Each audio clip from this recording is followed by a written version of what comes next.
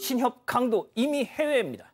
자, 오늘 오전에 속보가 떴죠. 지난주 대전의 한 신협 지점에서 강도가 현금을 훔쳐 달아나는 사건이 발생했는데 자, CCTV가 그렇게 촘촘한데도 이놈이 참 안 잡히는 게 용하다 싶었는데 세상이 외국으로 튀었어요. 네, 맞습니다. 지난 18일 40대 남성이 대전 서구 관저동 한 신협에 들어갔습니다. 그리고 소화기 분말을 뿌리고 준비한 흉기로 직원을 위협해서 3,900만 원을 빼앗았고요. 오토바이를 타고 달아났는데 이 오토바이도 사전에 훔친 거였습니다.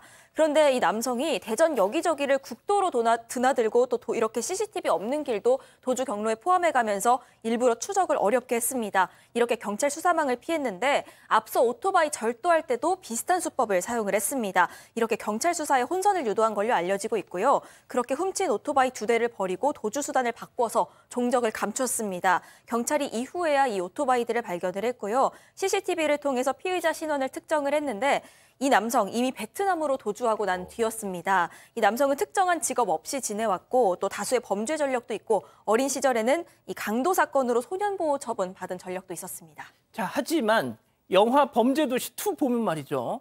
베트남이랑 이렇게 범죄인 인도할 수 있는 장면이 나온단 말이죠. 그렇죠. 그래서 우리 경찰도 이제 국제 형사 기구를 통해서 현지 경찰에 공조 요청을 한, 상, 한 상황이긴 합니다. 다만 이제 이게 우리 경찰이 직접 가서 수사를 하는 건 아니고요.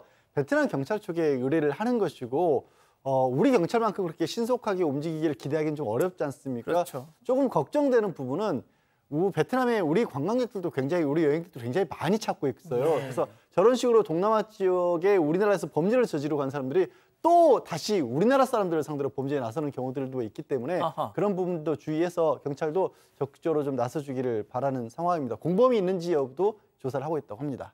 알겠습니다.